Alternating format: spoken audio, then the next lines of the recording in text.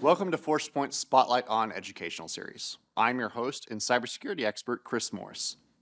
In today's episode, we'll be shining the spotlight on a topic at the center of lots of my conversations data security posture management, or DSPM.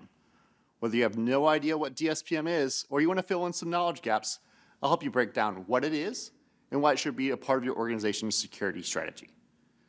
DSPM, at its core, is both a technology and a risk assessment framework for sensitive data in an organization.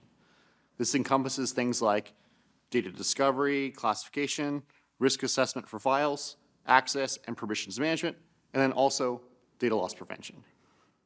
The focus of DSPM is identifying sensitive data everywhere it's stored, across endpoints, file shares, and repositories.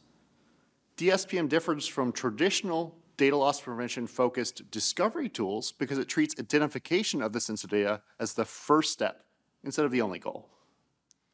As mentioned originally, DSPM is a risk-focused tool. So after you identify data, you need to understand more context around what the data is, who the data owner is, who has access to the data, and if it's even data the organization wants to retain. AI can be leveraged by DSPM to help identify the context around these sensitive documents.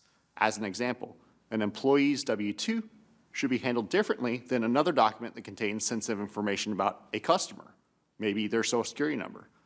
Both are definitely sensitive and should be controlled, but they might have different data owners internally. And it's highly likely that no one should have access to both documents. DSPM can also help you with identifying data that needs to be purged, like ROT data, which stands for redundant, outdated, or trivial.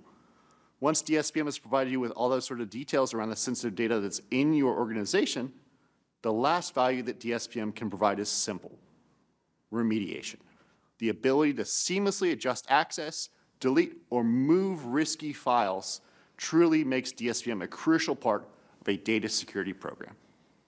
Thank you for joining us today. Again, I'm your host, Chris Morris from Forcepoint. For more resources, feel free to visit our website at forcepoint.com.